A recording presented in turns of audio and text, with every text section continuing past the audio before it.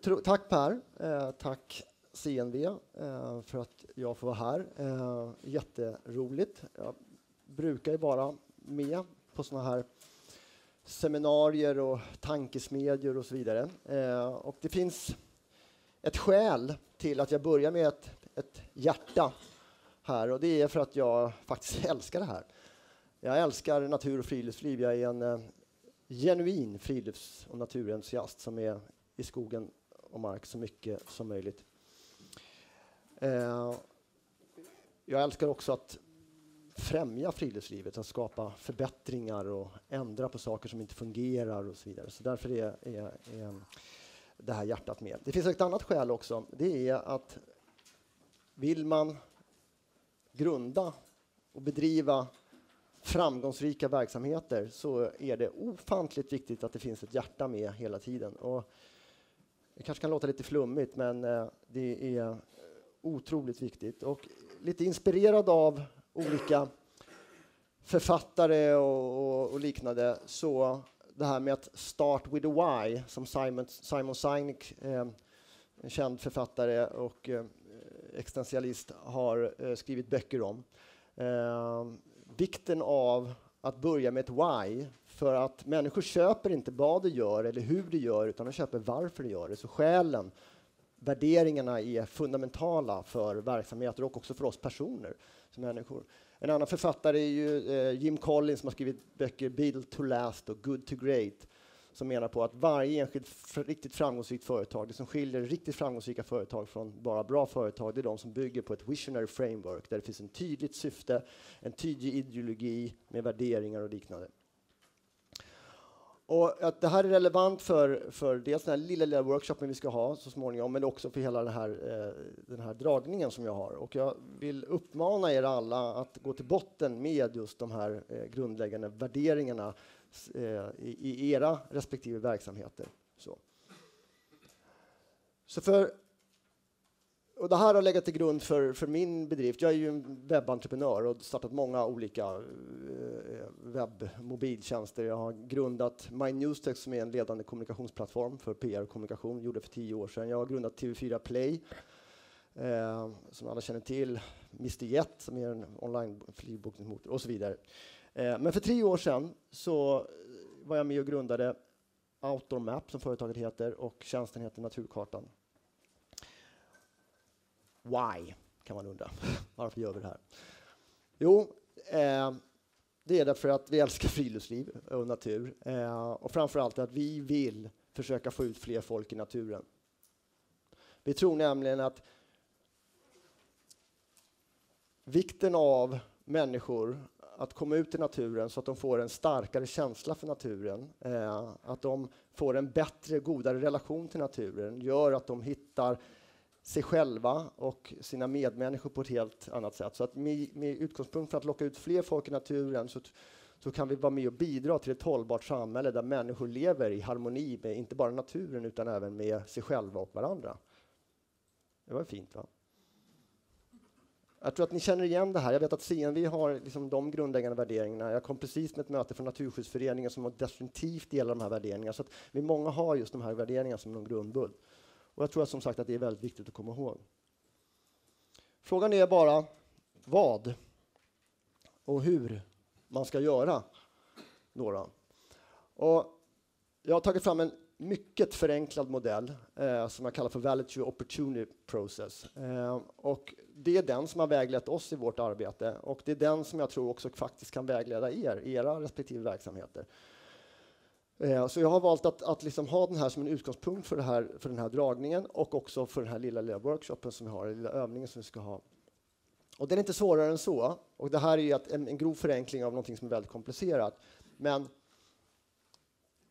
vilka är det vi finns till för? Hur ser vår målgrupp ut? Jag hade precis ett sådant samtal här utanför dörren här när man, om det är de engagerade som vi ska jobba, de redan frälsta, eller hur, hur vi ska göra.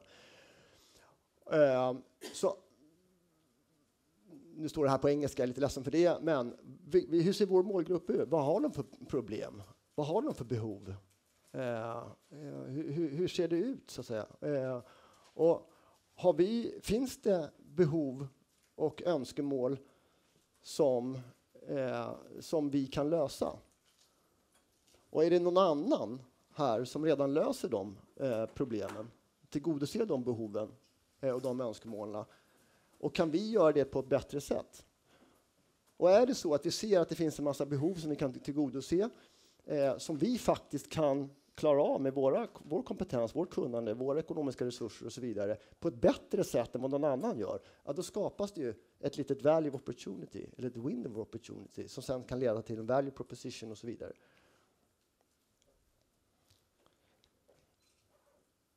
Vi såg på naturkartan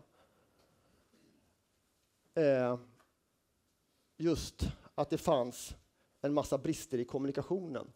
Vi såg att det fanns ett fantastiskt friluftsliv, massa utövare, men en brist på möjligheter för användaren, kallar dem för konsumenten, att faktiskt förstå vad som finns där ute och hur man kommer dit och, och, och, och, och liksom, eh, ja, egentligen eh, en, en, en, brist på möjligheten att liksom, hitta ut i naturen.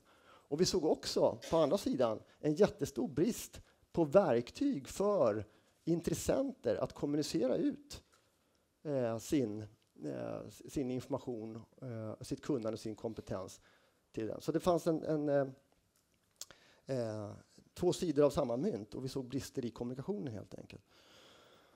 Och det handlar inte bara om verktyg, det handlar om liksom kompetens, det handlar om kunskap och, och, och massa sådana saker. Så vi på Naturkartan eh, tog fram en, som vi kallar det, kollaborativ plattform eh, som gör det möjligt för olika intressenter att kommunicera ut sin natur, sitt friluftsliv, om man kan kalla det så, både för webb och mobil och alla andra typer av enheter på ett, eh, i syfte att inspirera och vägleda och informera eh, kräsna, eller nya tidens målgrupp i ett nytt kommunikationssamhälle för att då ska hitta ut naturen och få en bättre känsla för naturen. Och det här har skett i, i, omgångar och vi har, eh, som ni kanske vet, börjat jobba då med intressenter som kommuner och länsstyrelser. Vi vet att de idag har en massa spännande information. Vi vet att de saknar vettiga verktyg att nå ut med informationen. Det saknas ganska ofta samverkan mellan olika aktörer. Eh, så att nu har vi börjat ta fram den här plattformen och göra det möjligt för de enskilda aktörer att kommunicera ut sitt friluftsliv på det här sättet. Men det som sker just nu, det är att vi nu slår ihop all information till en applikation som gör det möjligt eh, för alla nu att kommunicera på samma spelplan egentligen. Så att vi kanske nu för första gången får en möjlighet att att eh, åtminstone lägga så fröet till den här liksom, nationella guiden till, till svenskt eh, natur och friluftsliv. Och vi ser redan idag att vi har 900, 900 beskrivna eh, naturreservat med texter och bilder. Eh, vi jobbar idag med 30-tal kommuner och länsstyrelser som har aggregerat all den här informationen eh, och andra organisationer också. Eh, och dessutom eh, så har vi nu lagt på eh, fjällkarta och terrängkarta som ett lager. Eh, vi har lagt på ljudfiler och det händer massa spännande nyheter. Så att nu är det för första gången som vi faktiskt kan börja närma oss det som vi tror att användaren faktiskt har behov av och önskemål om. Så. Men jag vill gå tillbaks och lite djupare in i vårt existensberättigande. För hur ser det faktiskt ut där ute? Vad finns det för behov och önskemål, både hos intressenter och hos användare? Och nu kanske jag trampar på lite ömma tår här, men vi får se hur det landar. Men det är ju helt fantastiskt ändå med den eh, friluftspolitik som vi har. Jag vet att Maria Sjö sitter här och är representant för kan man säga, regeringen och projektledare för regeringsuppdraget, vilket är väldigt roligt. Och, eh, eh, Maria jobbar ju hårt med de här frågorna eh, och vi ser jättemycket energi. Men framför allt är det som otroligt fantastiskt häftigt att redan 2012 förra regeringen satte eh, tio friluftspolitiska mål som alla ligger i linje med det vi pysslar med, vilket vi tycker är helt eh, Eh, fantastiskt. Eh, samtidigt som vi ser att, eh, åtminstone sett ur vårt perspektiv, att det går ofantligt trögt och man, ibland blir man rädd att det inte kommer hända någonting. Så, att säga. så när man gjorde uppföljningen nu då, som ni alla vet, så var det ju eh, en, en, inte jätte, jättebra, kan man väl inte säga. Det var väl ett, ett, par som hade positiv utveckling och resten var ganska neutrala och en del till och med negativ, tror jag. Eh, så. Eh, men en av de som hade positiv utveckling var ju trots allt eh, tillgänglig natur för alla. Och, och, det var ju glädjande. Men om man, läser, om man läser lite noggrant, jag vet inte om ni kan se där, så är det ju liksom så att delar av den här eh, resultatet byggde ju på att man såg att kommunen faktiskt var ganska, ska man säga, bra var väl ta i, men, men att de är ändå ganska att de tar fram mycket informationsmaterial, så man fick kryssa i vad man gjorde, tog, hade tagit fram informationsmaterial och många hade faktiskt tagit fram informationsmaterial. 90 procent, jag kommer med en annan bild om det snart, 90 procent hade ju tagit fram digital information, men läser man där så vad innebär digital information? Jo, det tyd räckte tydligen med att man hade skrivit en text på sin webbplats. Då kunde man kryssa i digital information. Och jag tycker att det är för dåligt. Det tycker Ulf Sylvander också, som skrev den här sura artikeln i Dagens Samhälle, tror jag det var. Nåväl. Men länsstyrelserna och, och eh, kommunerna, jag kanske trampar på ömma tår, jag älskar er allihopa, ni jobbar med samma frågor, vi sitter ju har ju samma, ups, samma värderingar, men, men eh, eh, jag måste ju också säga vad jag tycker. eh, underbart, ni eh, jobbar ju idogt med de här frågorna och eh, eh, eh vi jobbar med fem stycken av länsstyrelserna. Eh, det har gått lite trögare med resten. Eh, vi vet inte riktigt varför, men vi har våra aningar. Eh, så. Men jag förstår också att man har väntat på att Naturvårdsverket ska göra någonting länsgemensamt. Att, eh, så. Det har man ju fått reda på för ganska länge sedan att så blir inte fallet. De kommer ta fram en, en tjänst liknande som man gjort med nationalparker. Eh, man har börjat titta centralt, om man centralt, alltså den centrala IT-enheten och med förvaltningsobjektet natur ska ta fram en länsgemensam så kallad karttjänst. Och det arbetet har pågått väldigt länge, nästan ett år. Eh, vi har löpande kontakt med de här människorna och nu så kommer första version av den så kallade kart, länsgemensamma karttjänsten. Din natur, tror jag heter den. Och eh, den ligger på webbplatsen idag och den ser ut så här. Och det är väl egentligen en uppgraderad variant av eh, skyddad natur. Och jag skrev att, att, att, polygoner räcker inte. Nej, det gör inte. För nu, är det här, nu har vi en Sverigekarta som är proppfull av massa reservat, närmare 4 500 reservat, varav många är besöksvärda, kanske inte alla. Och, det kom, och klickar man på ett av de reservaten så får man upp en liksom, det står så här, polygoner, shape, area, shape, i liksom och så vidare. Jag förstår att det här är inte klart, så att säga, men så här har det sett ut jätte, jättelänge nu. Och det fungerar inte för användarna. Man ska ju vara glad om, om, om pappa Bosse med sina två barn Lisa och Kalle kommer överhuvudtaget till Länsstyrelsens hemsida för att komma ut i naturen. Är jag elak? Är jag, är jag fel? Alltså var det fel karta? Jaha. Ja, okej. Okay. Det är... Det... Vi vill förklara lite tydligare. Ja. Vad bra.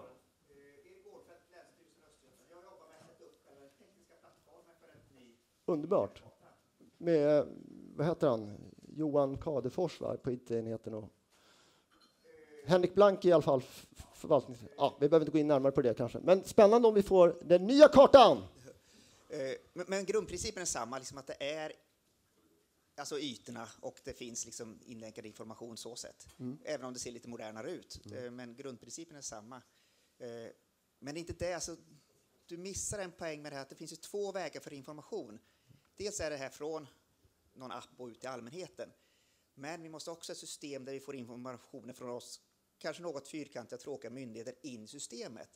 Och den informationskanalen måste vi också hantera. Och det är, där, som inte, och det, är där liksom det här har gått i stå att vi har inte liksom ett system att man måste tänka på uppdatering, underhåll, drift och skötsel av informationen. Och det hyser jag jättestor respekt för, full Så. förståelse. Inte jag vet hur Maria Sjö och, och som jobbar också med den här öppna, alltså med utgångspunkt från skötseldos, att försöka skapa eh, användarvänlig eh, frilufts och naturinformation som öppen data så att vi tredjepartaktörer kan använda det. Och vi, vi är jättenyfikna på det och vi hoppas på att det, att det successivt ska tas fram en sån ett sådant system. Eh, om det var delvis det du syftade ja, på. Så, och, när vi löst det, då tror jag vi kommer mycket, alltså då har vi mycket bättre möjligheter. Så att säga. Mm. Idag är det där mm. tror jag en hel del av hemskon ligger. Jag förstår det. Eh, men faktum är att den där kartdumpen är tagen från igår från Länsstyrelsens hemsida, så det är det som ligger uppe idag. Ja, som, så eh, så att det är den kartan som eh, an, allmänheten idag konfronteras med. Det är den där kartan som länsstyrelser hänvisar allmänheten till idag, delvis. Alltså bland, oftast skyddad natur. Det där är en uppdaterad variant. Så det är så. Och, och, men det, det, det finns, vi förstår själv, det här är ju bottenlöst djupt hur man kan gå ner i det här. Så att säga. Men jag finns ju till här för att serva allmänheten, att försöka locka ut dem i naturen med modern kommunikation. Och det här är vår utgångspunkt. Och här ser jag att man kan göra saker. Inte tu tal om att man gör jättemånga bra saker. Spännande med skötseldosprojektet här. Vi eh, ligger ju på Naturvårdsverket som iglar, eller hur Maria? Ja, det kan man inte eh, Eh, anklaga oss för. Ja, det här är ju den här bilden också tagen från alltså digital kommunikation som 90 procent hade kryssat i av kommunerna eh, som också ligger till grund för eh, när man utser årets friluftskommun. Örnsköldsviks blev ju årets friluftskommun idag och skårade ganska högt på det här så att säga. Men inom parentes, text på kommunens webb kom appar etc. Så att det är ganska låg grad för att kunna kryssa i digital kommunikation. Och digital kommunikation, jag kommer komma till det, så att säga att vi kan väl stryka det här ordet digital, för liksom allt är digitalt per definition. Eh, så är det ju inte, det finns massa fysiska och analoga aspekter. Men digitalt är inte ett värde i sig, utan det är ju tjänsten som de, digital, de digitala möjligheterna genererar som är av värde. Men det här är i alla fall vår utgångspunkt. Och här är liksom, eh, Örnsköldsviks kommun som var årets friluftskommun. Och det här är ju fint och trevligt så att säga. Men faktum kvarstår att man blir inte så här jätteinspirerad. Och man blir heller inte särskilt vägledd att komma ut i naturen, inte, åtminstone inte med utgångspunkt från hur ett modernt kommunikativt samhälle ser ut idag. Och här är den pdf delar av den pdf som man idag kan ladda ner. Ni kan ju bara föreställa er om man kunde kunna konvertera det här till digitalt. Att här ser jag min Facebook-kompis och hon är ute nu för två timmar sedan. Jag kan chatta med henne där och jag, är- jag ser hur långt det är dit så jag kan komma dit. Och så ser jag att liksom, här är det fuktigt, här klickar jag, då får jag upp bilder på det. Jag ser hur många som har varit där och vilka som ska dit och så vidare. Och så vidare. Den där går ju att göra digital.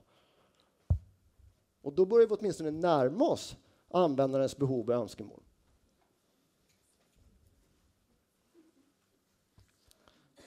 Tog jag igår. Hade en liten åsikt om det där. Eh, jag är, det är jätteroligt att 38 procent är responsiva, men 62 procent är inte responsiva. Och som jag sa igår, responsiv, det är bara ett sätt för mindre enheter att hantera layouten på en webbplats. Det har ingenting med tjänsterna att göra. Så gränssnittet för en webbplats är anpassningsbar till mindre eller små enheter, som ni vet. Men tjänstutbudet blir varken bättre eller sämre med en responsiv design. Eh, mikrofon. Vad bra att ni, att ni ställer frågor. Vi, vi är ett sånt litet gäng så att det finns utrymme för... Jättebra. Ja, absolut, det är bara kul. Det här, det, det, den här presentationen är ganska värdelös, men, men det här är kul. Ja, vad bra. Här. Eh, Elin Tiselius, jag kommer från Öresundsfonden.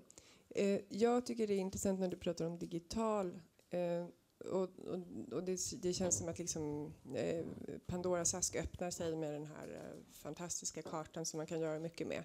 Men nu vill jag gärna fråga, är det inte en demokratifråga vem och vad och hur du presenterar den där informationen eh, som finns på den här kartan? Eh, så fort du säger min kompis på Facebook, för mig personligen tycker jag nej tack, jag vill inte vill se.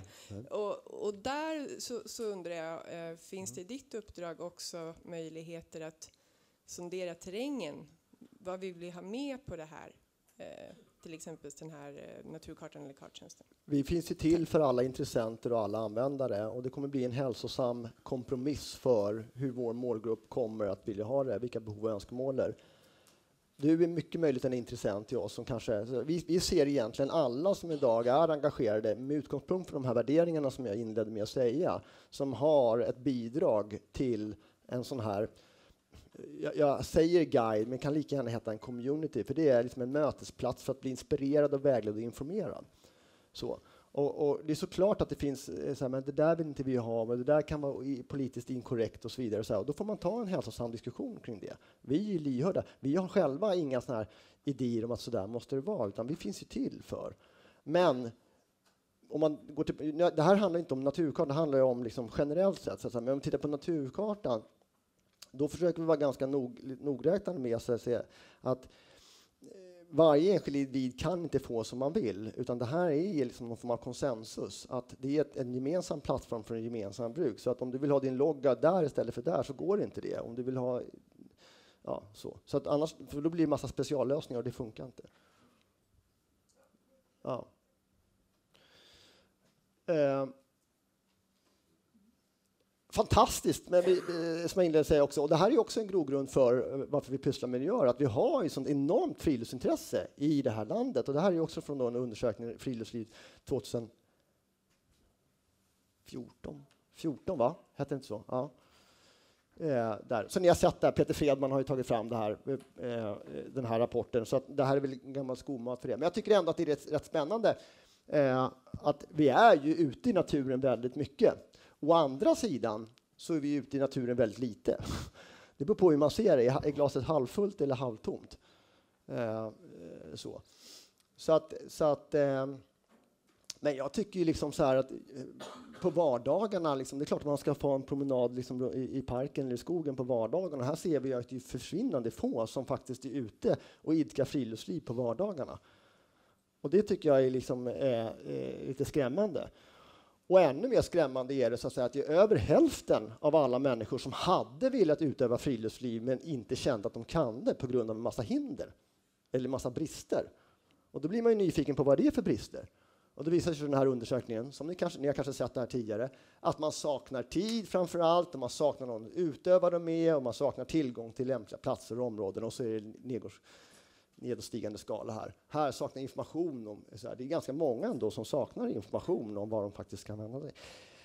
Sen är det liksom det här med också att sakna tid och sakna någon att utöva det med och sakna tillgång till lämpliga platser och områden. Om de hade haft ett enklare kommunikativt instrument eller vägledande instrument, hade de haft mer tid då? Ja, men det säger väl saken så att man, ju, ju, snabbare och enklare man kommer ut i naturen och man vet vad man ska, man vet hur man tar sig dit och man vet liksom hur man ska röra sig, då kanske man plötsligt får tid. Och ser man nu den här Facebook-människan också så, här, så plötsligt kanske man också har någon att komma ut med. Vi är ju sociala individer i grund och botten och vi ser ju en enorm socialitet så att man vill gärna gå med varandra i många fall. Sen vill man skönt att gå ensam också.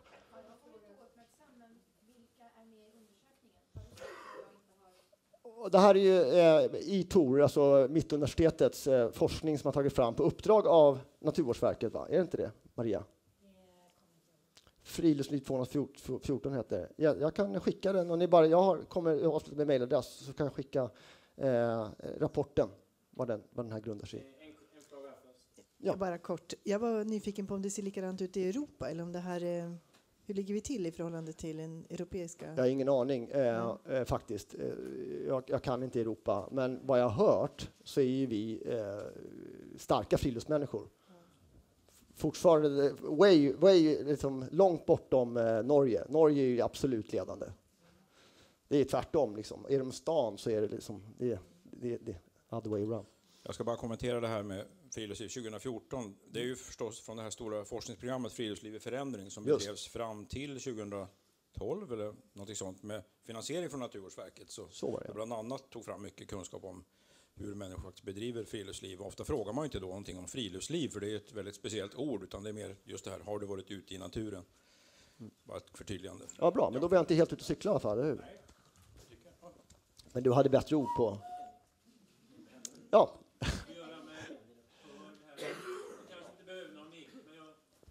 inte säker på att det går fram, men jag kör fågelspråk. Ja, vi kör en lektion i det. Jag brukar hålla det ibland. Eh, nu glömde jag vad jag skulle fråga. Jo, eh, om ni nu får in material. Du var inne på lite grann utformning och att det var upplagt på rätt sätt och så här. Hur mycket påverkar ni de som ger material till sammanställning i kartan? Ja, jätte, Tänk på textutformning, innehåll. Vi har pratat tillgänglighet och delaktighet mm. och eh, information för alla och sånt där. Jag inser snabbt nu att jag inte kommer hinna med min presentation, vilket inte har någon som helst betydelse, för det, det här är mycket mer spännande. Vi vill få ut fler folk i naturen, hur ska vi göra? Eh, hade det funnits bra friluftsdata, bra information, som öppen data eller som whatever som vi kunde använda, eller vi kunde liksom aggregera data från webben och så vidare, då hade vi redan byggt upp den här nationella frilufts och naturguiden för länge, länge sedan. Men vi såg inte att den fanns. Och vi ser fortfarande inte att den finns. Vi har ändå jobbat med Instagrambilder. Vi vet som alla bilder är geopositionerade, de ligger så vi kan se, vi kan fylla alla Instagram-bilder som är taggade inom ett geografiskt område, till exempel naturreservat, och få upp bilderna där. Men du vet, det är inte bara bra bilder om man säger så, så det är inte snutet i näsan. Vi kan ta alla Wikipedia-texter och också presentera. Det är ett, ett sätt att göra det på. Eh, den här friluftsreservatdatan, den finns ju som öppen och den kan man ju lägga in, men då är det bara de här tomma polygonerna. Det innehåller ingenting. Då ska man kunna lägga in Instagram-bilder och Wikipedia-texter. Nu tror jag bara är, jag tror jag gjorde en överslagsregel, jag tror det bara är skam att säga 10 15 procent av alla reservat som är beskrivna på Wikipedia. Är det ingen här som har ett uppdrag att beskriva alla reservat på Wikipedia? Det borde det vara. Annars hade vi kunnat ta det därifrån. Så, så,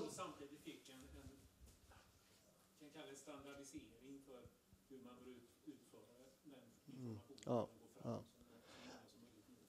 Så, så vi, vi, tar den informationen som, som finns. Eh, vi ser att den inte har funnits. Eh, vi har tagit mössan i handen och gått till kommuner och länsstyrelser som vill samarbeta med oss.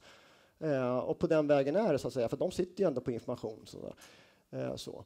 Eh, men eh, och vi ser ju också idag, vi, när jag talar om den här kollaborativa plattformen vi har, så är det som så att eftersom länsstyrelserna har sina reservat inom ramen för kommunens gränser så överlappar ju deras beskrivningar varandra idag. Det är ofta som man ser att kommunen beskriver ett reservat på sitt sätt på sin webbplats och länsstyrelsen på sitt sätt på sin webbplats.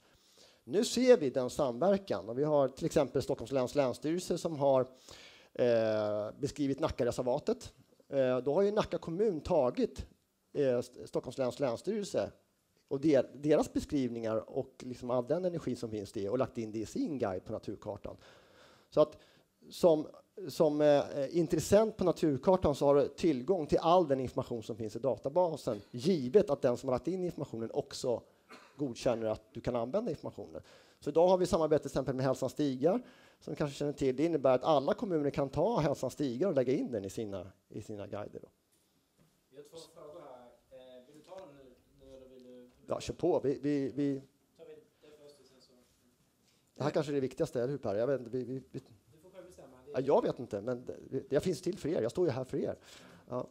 Eh, ja, det var Elin Tisell igen. Jag är alltså uppe nere menar jag, i Skåne och där så är vi intresserade av Öresund. Och, och då har jag varit över och pratat med Danmark om, om det här. Vi vill ju skydda Öresund. Mm. Och danskarna pratar om ett jättefint ord som heter havsmiljöturism. Mm. um, och då undrar jag, jag är ganska säker på att det du håller på med är kartor på land och du håller på med folk som rör sig i naturreservat. Är det någon här inne som har någon koll på statistik vad det gäller havsmiljöturism i Sverige? Dåligt med det. Ingen hade koll. Nej, men eh, då får jag kontakta HaV. Ja. Det var bara en liten eh, passus. Båtliv. Båtliv var svaret. En undersökning som görs för fjärde år. Jag undrar, liksom, är din tes då att om vi får en naturguide då kommer de här siffrorna att bli omvända? Är det dit vi är på väg? Nej, det är mer, men jag säger så här, visionärt så vi har våra värderingar och så vidare, men också en vision. Vi vill vara med och bidra till att fler urbana människor kommer ut i naturen. Nej, vi, vi, har en idé, vi vill vara med och bidra till att alla världens urbana, framförallt urbana människor, egentligen alla människor, kommer ut i, i naturen. Som en motpol till liksom det marknadsekonomiska att åka till Ikea och köpa billigbokhyllor. Så, så att, men vi kommer vara ett litet bidrag kanske. Vi kommer vara en liten del i ett mycket större ekosystem. Vi kommer inte rädda världen, men vi kan med och bidra till det. Så är det. Förhoppningsvis. Vi gör det här för också att vi har gjort egna undersökningar. Och den här undersökningen gjorde vi till, till eh, CNV, i det samarbete med CNV. Eh, men det ger också indikationer på att målgruppens behov, användarna, alltså målgruppens behov och önskemål inte är tillgodosedda. Vi fick egentligen oförskämt bra rating, att man tyckte att naturkartan var väldigt bra, för att så bra är den inte om man är användare. Det finns massor kvar att göra för att verkligen tillgodose användarnas önskemål. Så är det. Men här fick det ganska bra rating. Men det de saknar mest är fler områden och leder och platser. Det var det, det, var den, eh, det var det de saknade mest på naturkartan. Och den funktion de uppskattade mest på naturkartan, det var möjligheten att upptäcka ett nytt område. Det här gick ut till 3200 medlemmar eh, som, som svarade på det här. Och, och det är ju liksom också det är jobbigt för oss. Det var, det var inte 3200 som svarade? Nej, nej, nej. Svarsfrekvensen var eh, knappt 10 procent jag, av det. Men det gick ut till 3200. Ett urval av våra medlemmar, slumpvis utval. Och eh, 300 någonting, jag kommer inte ihåg. Ger också en indikation. Men nu kommer till eh, kanske huvudområdet här, det är det eh, digital kommunikation som vi varit inne på och pratat om så mycket i all ära, men det räcker inte med responsiv webb. Jag bara tog det här bara för att vi pratade om det här med responsiva webben och jag kanske måste rekapitulera lite grann. Jag vill bara kort beskriva hur vi idag uppfattar de nya, det, det nya eh, ska man säga, media eh, kommunikationssfären, hela, liksom hur, hur, hur det nya medialandskapet idag ser ut och hur eh, mediakonsumtionen idag ser ut hos människor i allmänhet. Och man kanske kan rep rekapitulera lite grann, jag vet inte om ni kommer ihåg det, men det här var innan massmedia. Då fick man ju sin inspiration och sin förkovran och sin information från varandra. Det fanns ju inte medier på den tiden. De få medierna som fanns var liksom någon lokal tidning och en och andra.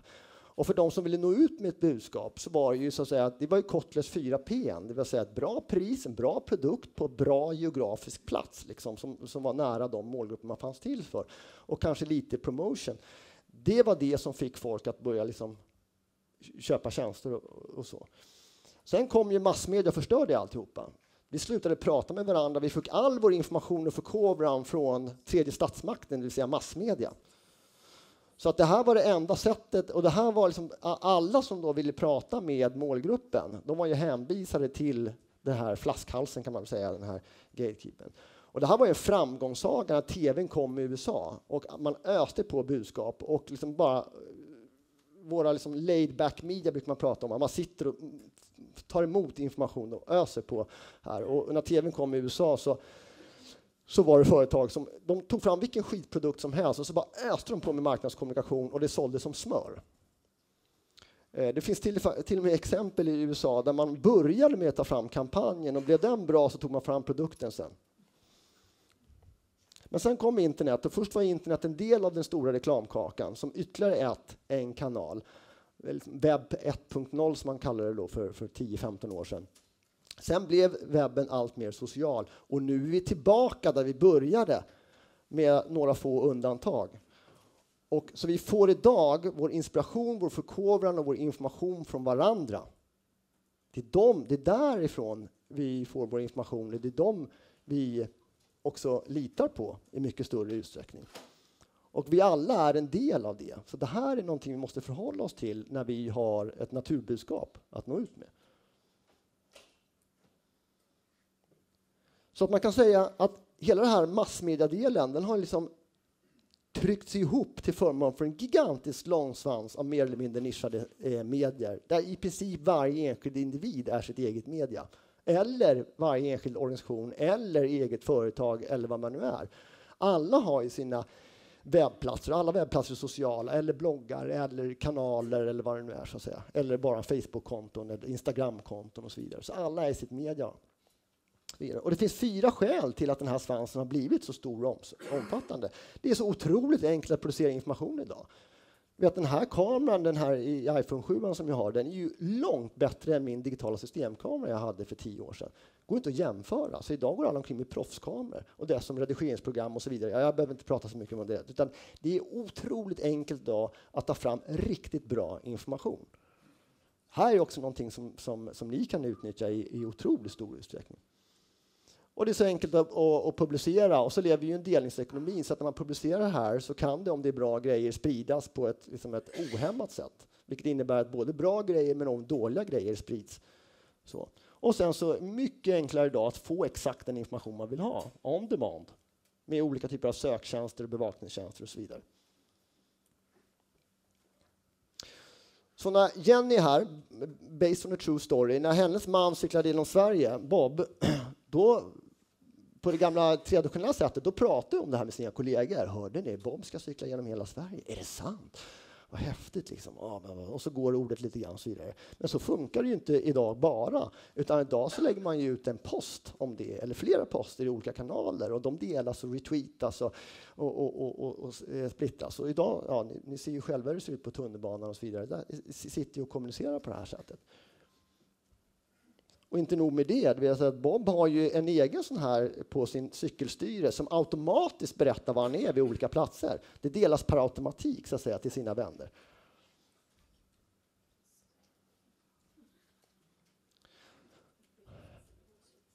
Bekräftelsebehov, ja. Och tar man bara en av de världens största sociala nätverk, Facebook, med nästan två miljarder må månatliga användare, eh, aktiva användare, eh, så, så så har ju alla de här människorna idag knutits ihop baserat på en social graph och en interest graph baserat på vem man känner och vad man är intresserad av och en mix därav. Så. Och jag vet inte om ni har hört talas om det här med six degrees of separation? Är det någon som känner igen det? Att vi alla står bara sex steg från varandra. Det vill säga att jag står sex, max sex steg från Barack Obama. Och så vidare. Inte på Facebook. Nej, det som Mark Zuckerberg kallade för elegant organization, han hade att, att, liksom organiserat upp ett nätverk, alltså det fysiska community som redan fanns på ett mycket, mycket smartare sätt med, med modern teknik. Det har fått ner stegen till 3,57 steg. Och eftersom Barack Obama är på Facebook så står jag faktiskt bara max 3,57 steg från Barack Obama.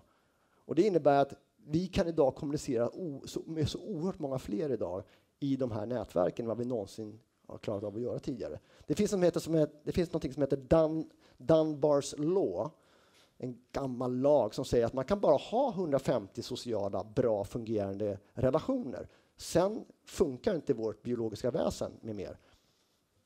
Idag är genomsnittet 250 vänner på Facebook. Det går utmärkt. Grattis på födelsedagen, grattis på födelsedagen, grattis på födelsedagen, grattis på födelsedagen. Och så har man, så har man gratulerat fem pers på födelsedagen eh, inom loppet av två sekunder. Ja, och det förstår ni att i sånt här landskap kan man liksom inte eh, kommunicera på det traditionella annonssättet. Det är helt kört. Utan här måste man börja använda nytt, man måste börja bli själv social, man måste börja interagera med sin publik eller den målgrupp man finns till för på ett betydligt mer tidsenligt sätt. Vi matas idag med 63 000 budskap varje dag. Vi, vi, vår hjärna, vårt biologiska vägen, vi kan bara formulera 5000. Det är det som ligger i vårt medvetande. Sen ligger det en massa undermedvetet. Men vi är bara mottagliga. Vi kan bara ha 5000 budskap ungefär. I vårt, ändå matas vi varje dag med 63 budskap. Det är fullkomligt lönlöst att bli en del av det här. Hur ska vi få ut folk i naturen om vi ska bli en del av det här?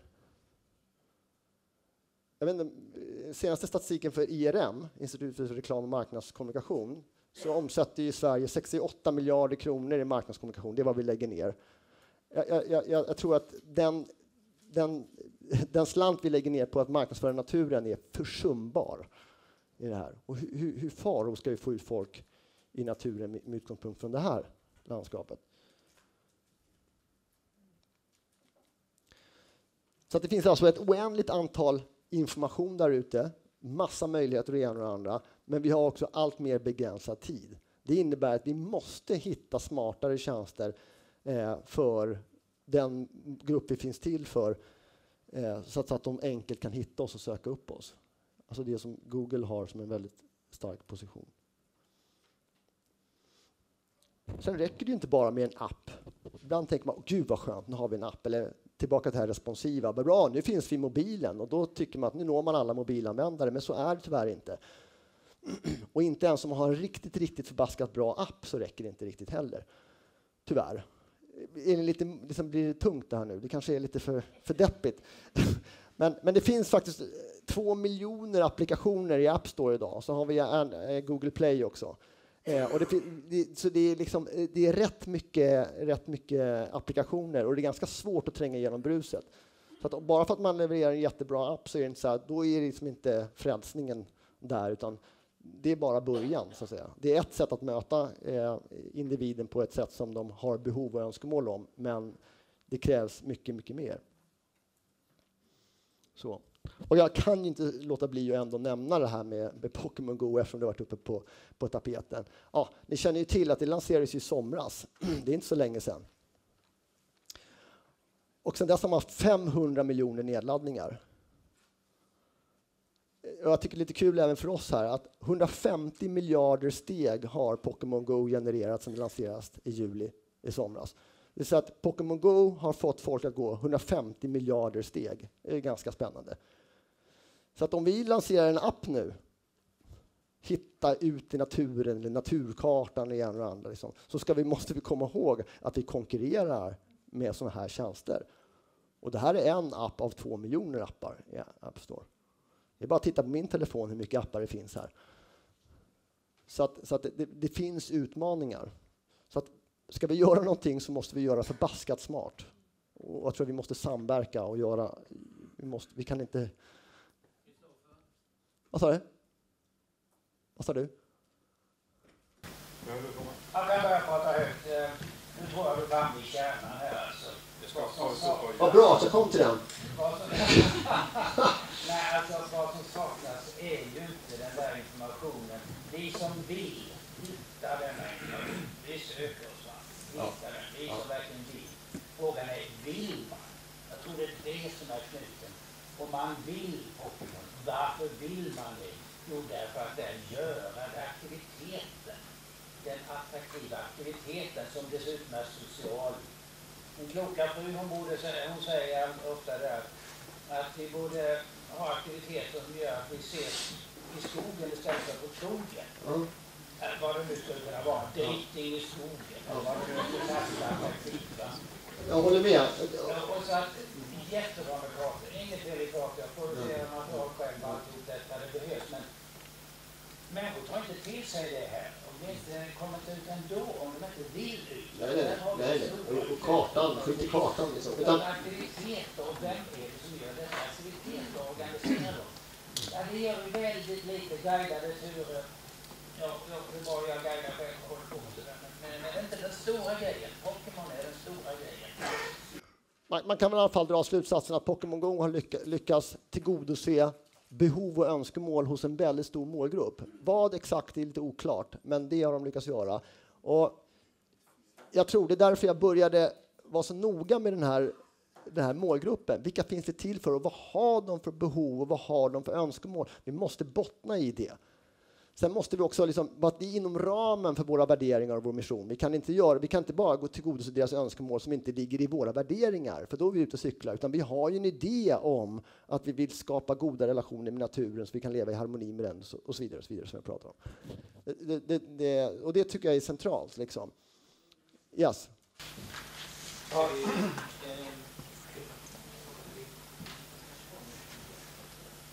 herregud. Ja, um. Yes, det passar bra. Vad är klockan? Oj, oj, oj, oj. Det har gått så lång tid. Ja, men det, jag får skylla på de här. Eller? Ja, du får skylla på mig. ja, jag kör frågor. Mm. Du får ta det som beröm att eh, vi träffar näven här helt enkelt. Kristoffer mm. heter jag, jobbar för ett företag. Vi håller på med guidningar. Um, och jag stör mig lite på um, jämförelsen mellan naturturism och friluftsliv och att man klumpar ihop det här i, ja det är typ samma sak. Men det är en otrolig skillnad mellan friluftsliv och naturturism. Naturturismen kan vara friluftsliv, men friluftsliv är inte naturturism. Och, um, och vi framställer oss gärna själva som att vi är Ja, Sverige är ett friluftslivsland och så vidare. Men, och, och det ställdes frågan hur slår vi oss jämfört med andra länder?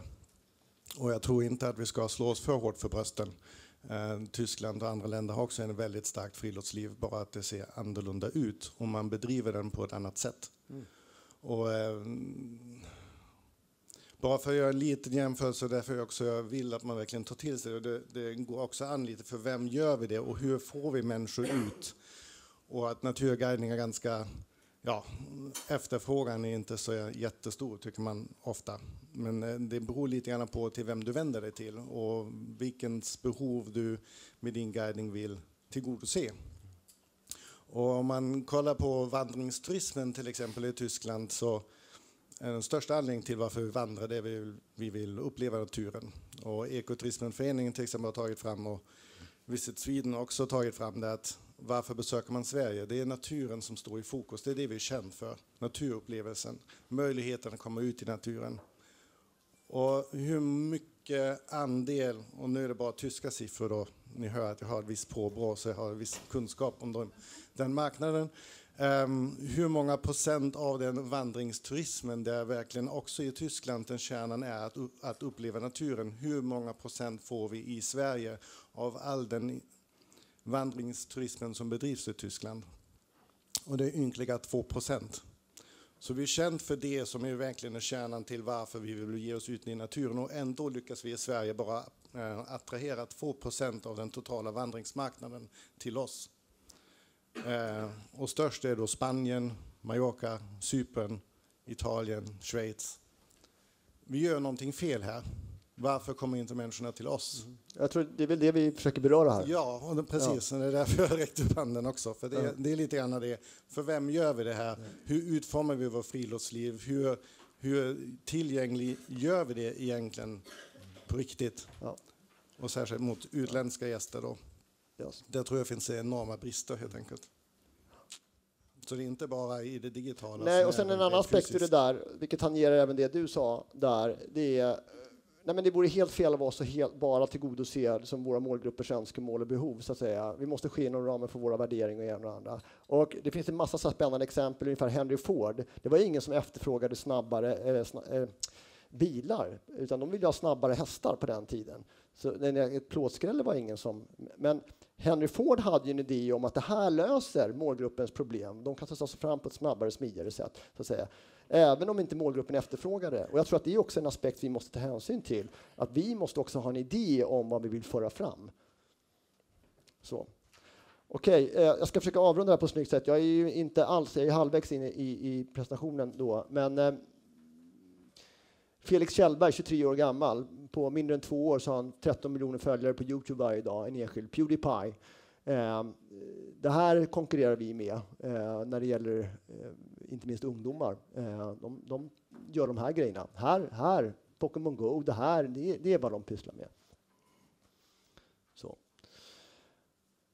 Yes. Eh, det finns en rapport som heter Svenskan internet. Jag vet att Paul, du refererade till den här, en bild. Eh, jag har ett gäng bilder här som, som är väldigt, väldigt tydligt, eh, man sammanfattningsvis eh, säger att vi alla är uppkopplade med flera olika enheter. Vi har 2,7 enheter per hushåll eh, idag, det vill säga både en surfplatta och en dator och, och så vidare. Så det, det, vi är alla uppkopplade med flera enheter. Vi, vi all, alltså, över 90 procent har tillgång till internet vi har, och vi, vi har internet liksom dagligen i vår mobil. Jag tror att det är liksom nästan upp till 80 procent som har en smartphone. 55 procent av barn i åttaårsåldern har en egen smartphone idag. Så att den här smartphonen är i snart man, i varje mans hand eh, och den används jämt, den är alltid uppkopplad. Det är vår verklighet idag. Så ser det ut idag. Att jämföras med pappersbroschyrer och så vidare. Eh, ungdomar är på internet 40 timmar i veckan. Det är en arbetsvecka. Jag tror inte mina ögon när jag såg det. Jag kan skicka över den här rapporten till de som också är intresserade, de som inte har sett den. Så att säga. Men det är ju otroligt spännande läsning och det ger en väldigt krass bild av vilket kommunikationslandskap vi faktiskt idag befinner oss i. Och det är såklart att det är det här som har lagt grogrunden till Pewdiepie, att de har haft sån framgång. Det är det här som har lagt grogrunden till, till eh, Facebook och liksom alla de här sakerna. Och internet idag, det är liksom en, det, det är vår in, det grundläggande infrastruktur. Det är inga ungdomar som, som, som talar i termerna internet. Det är, det är så självklart. Det är som luften vi andas. Att det finns internet, det är så klart. Så att med det sagt, jag, nu ska jag bara skurpa det här. Jag vill bara visa någonting här. Den där är ju lite spännande. Så här. 61 av internet, det bästa med internet är all, att all information som finns erbjuds där. Eh, och, eh, den yngre generationen eh, anser att internet, och det är faktiskt första gången nu, senaste rapporten, som att internet med alla dess tjänster har gått om tv som den viktigaste informationskällan idag. Så det är den viktiga informationskällan nu. Så nu är gammelmedia passerad och snart dödförklarad om man får vara lite krass. Så. Och jag bara tar de här, eh, det här, bara för att ta den här cirkeln då, de här andra aktörerna. Det finns inga riktigt bra tjänster i sikte idag. Det är ingen som löser våra målgruppers problem. Det är inga som levererar bra kommunikativa redskap till er eh, intressenter med förbehåll för det som Paul gick igenom här. Det finns lite spännande apparater, lite QR-koder och lite Internet of Things och så vidare. Och det är jättehäftiga grejer. Men när det gäller den stora, liksom att försöka inspirera och vägleda och informera folk ut i naturen så finns det häpnadsväckande dåligt material. Det vimlar ju av de här gamla, man ska ladda ner en pdf, där någon folder och här är något.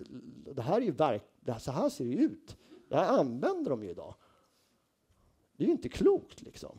Och här Silverlight plugin liksom. Länsstyrelsen fortfarande har det här.